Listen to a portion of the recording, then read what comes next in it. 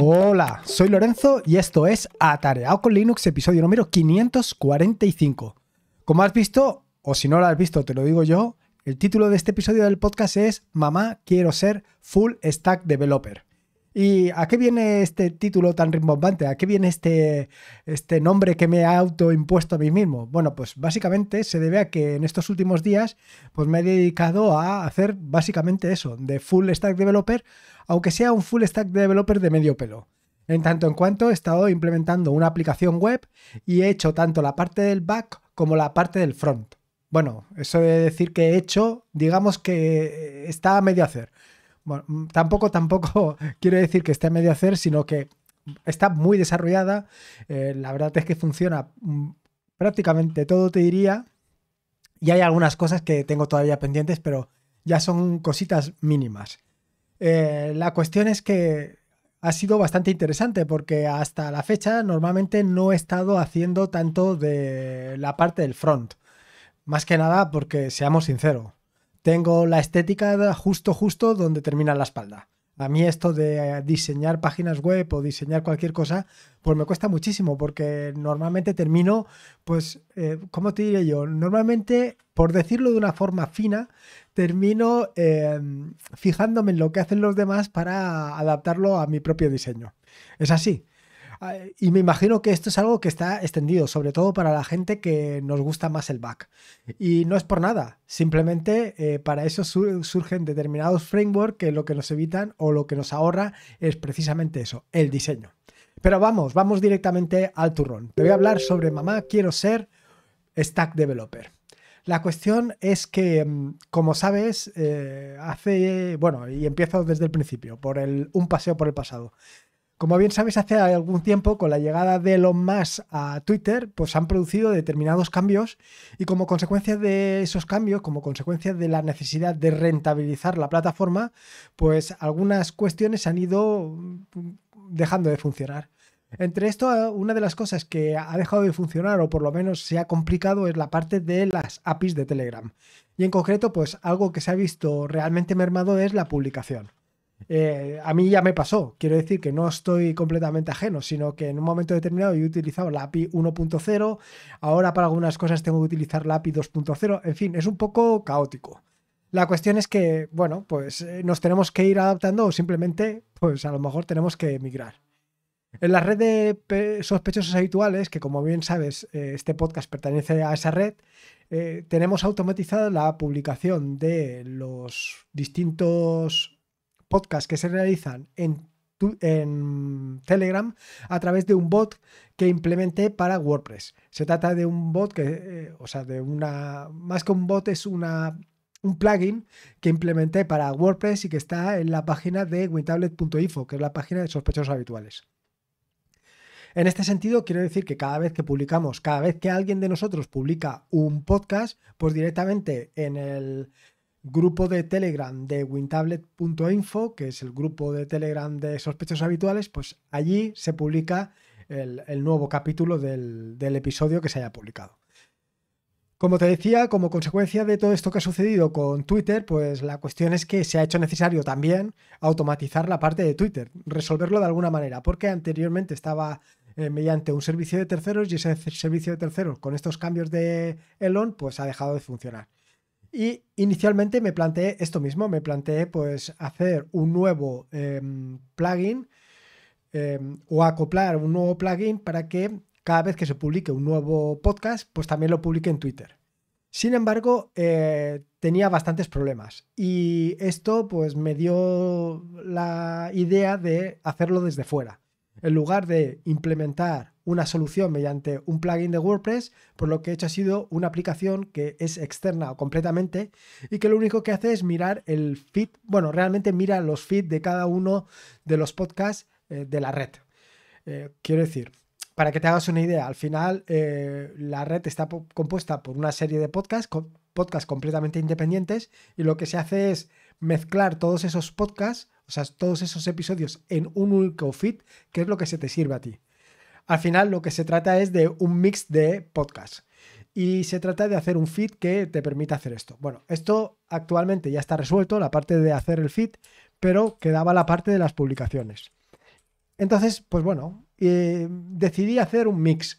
Ya que me ponía, pues decidí no solamente publicar en Twitter, sino también publicar en Telegram, con lo cual la parte del bot de Telegram o la parte del plugin de WordPress para publicar en Telegram la iba a quitar. Y ya que estaba, pues hacer incluso la mezcla. Una mezcla, o sea, la combinación de todos los podcasts y crear un feed. Incluso crear dos tipos de feed, un feed largo y un feed corto. Un feed de toda la historia, de toda la vida, de todos los podcasts de sospechosos habituales y un feed corto que sea, por ejemplo, el último mes. Y esto es lo que me ha hecho y lo que he estado haciendo durante estos días. He creado un servicio, una página web, que lo que me permite hacer esto. Pero esto es lo que me ha llevado a ponerme, a ponerme a mí mismo el nombre de Full Stack Developer, aunque sea de medio pelo. ¿Y qué es eso de un Full Stack Developer? Bueno, pues si no has oído nunca la palabra o la frase o el nombre o el título de Full Stack Developer, decirte que es un desarrollador que tiene conocimientos tanto del frontend como del backend. Es decir, que tanto hace la parte del backend donde se están las tripas de la herramienta como el frontend, que es lo que cada uno de nosotros vemos. Y llegados a este punto, claro, te estarás preguntando, pero ¿te consideras tú un, un full stack developer? Bueno, pues para nada. La verdad es que eh, yo soy un, digamos, eh, un, un, ser del back, una persona que siempre está desarrollando back y en muy pocas ocasiones me enfrento al front. Cierto es que durante mucho tiempo he estado haciendo aplicaciones aplicaciones de escritorio y que sigo haciendo aplicaciones de escritorio básicamente para Linux y básicamente con GTK que me permiten pues hacer, em, digamos, eh, eh, enfrentarme con el usuario, ¿no? Eh, ver cómo un usuario trabaja. Sin embargo, pues no es exactamente lo mismo como en el caso de esto. Quiero decir, aquí hay una parte de un back, una parte de un front y es básicamente la web lo que tú ves. A mí realmente eh, esto de hacer web me gusta muchísimo porque tiene una gran ventaja, que es que mm, los resultados los ves inmediatamente, tanto los resultados positivos como los resultados negativos. De hecho, por ejemplo, la página de atareado.es, pues todo el tema me lo he hecho yo. Y muchos de los complementos, muchas de las personalizaciones que hay, mucho del código que hay allí, lo he hecho yo totalmente desde cero. Eh, pero bueno, eh, al final son pequeñas piezas que he ido montando. En este caso, en el caso de la aplicación que estoy desarrollando, pues claro, es mucho más allá, porque estoy desarrollando tanto toda la parte del back como toda la parte del front. Eh, y básicamente, pues no soy un desarrollador de front porque, como te decía anteriormente, mm, tengo la parte estética, pues eso, donde acaba la espalda. Desde luego, la otra cuestión que yo siempre me planteo es si es posible ser un full stack developer. Y desde mi punto de vista, yo lo veo realmente muy complejo. Y lo veo muy complejo por dos razones fundamentales. La primera de las razones es la gran cantidad de tecnologías que hay actualmente, tanto para el back como para el front. Es decir, ponte que te dediques al back, a lo mejor solamente te dedicas al desarrollo del back en Django, por ejemplo, o en eh, Laravel quiero decir, en PHP o en Python. Eh, igual, igualmente te digo si te dedicas al front, que a lo mejor estás utilizando un framework como puede ser Vue o como puede ser React. Eh, dominar todas estas eh, tecnologías, tanto en la parte del back como en la parte del front, pues yo lo veo bastante complejo. Pero eso no solamente está en conocer esas tecnologías, sino también el otro problema que yo le veo es la rapidez con, con la que todas estas tecnologías están evolucionando últimamente. Quiero decir que si en un momento determinado te metes con, por ejemplo, el Laravel, o en el caso de que lo hagas en PHP o en Django, pues con el paso del tiempo todo esto va cambiando, va actualizándose, con lo cual en un momento determinado mejor lo que desarrollaste o lo que aprendiste ya no te vale. Y lo mismo te digo en la parte del front. Eh, a lo mejor estabas utilizando Vue 2, ahora viene Vue 3 y Vue 2 no es exactamente Vue 3. En fin, que esto es una evolución constante y una evolución muy rápida. Pero no solamente es esto. También me planteo la pregunta de, ¿es interesante convertirse en un full stack developer? Hombre, suponiendo que tuvieras en tu mano la posibilidad de convertirte en un full stack developer, la verdad es que yo no tengo muy claro que sea la mejor estrategia. Y digo que no tengo muy claro que sea la mejor estrategia por algo que dice siempre Joan Boluda en su podcast de marketing online. Aquello de que lo mejor es especializarse. Desde luego, si tienes en cuenta la velocidad con que van, con las que evolucionan todas estas tecnologías, por un lado, y si además tienes en cuenta eh, todos los cambios que se van produciendo, estar al día o estar incluso en la punta de lanza de cada una de estas tecnologías es posible una mejor solución, una mejor especialización, incluso una posibilidad de avanzar más que si intentas abarcar dos o tres de estas tecnologías. Con lo cual no tengo muy claro cuál es la mejor de las decisiones. Si es dedicarte al full stack, si es dedicarte al front o al back, o si incluso dedicarte a una pieza concreta del front o del back.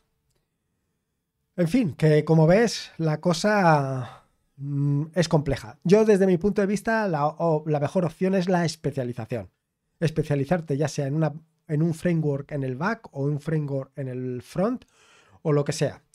Pero claro, esto no quita con que te desentiendas por completo del resto, porque si te desentiendes por completo del resto, lo que puede ser es un fracaso total. Y llegados a este punto, ¿por qué te digo lo de Full Stack Developer?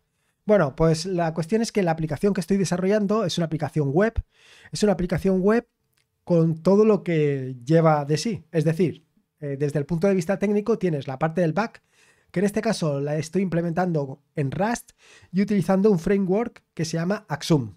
Esto combinado con, eh, dado que la base de datos eh, no va a ser una base de datos muy grande, porque única y exclusivamente voy a guardar algunos datos de, podcast, algunos datos de fechas y lo que es la configuración.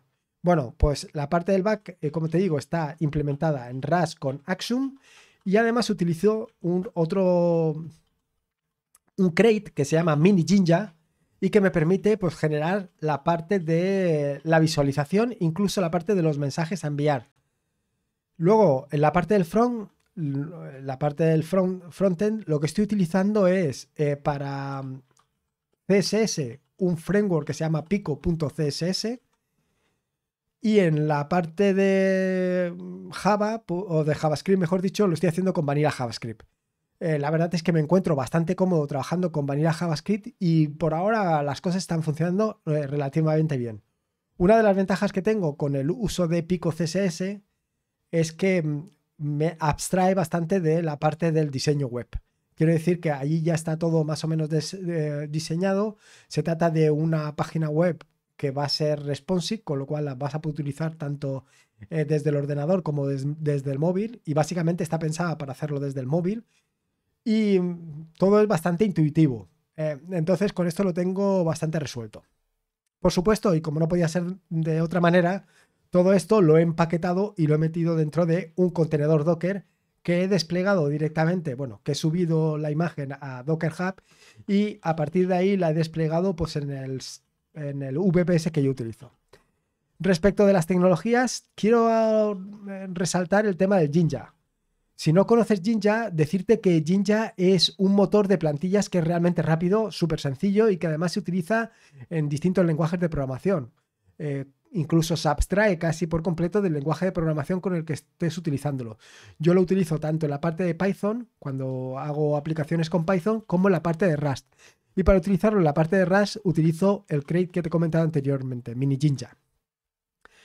Lo cierto es que estoy utilizando Jinja no solamente para eh, publicar las páginas web, reemplazando aquellas partes de la plantilla por eh, los valores que necesito, sino que además también lo estoy utilizando para eh, los mensajes, tanto de Telegram como de Twitter.